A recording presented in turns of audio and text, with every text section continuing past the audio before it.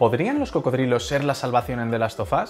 Antes de que te imagines algo muy chungo con zombies y cocodrilos, te gustará saber que la respuesta es mucho más científica de lo que parece, y la clave está en las defensinas.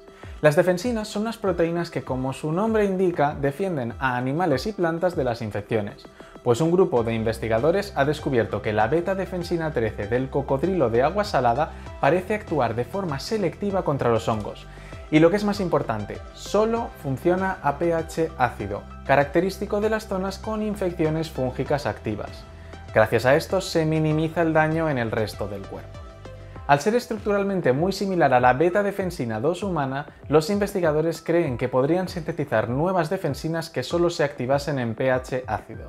Esto ayudaría a combatir las infecciones por hongos con menos efectos secundarios que los medicamentos actuales. Y ahora ya tienes la respuesta a la pregunta.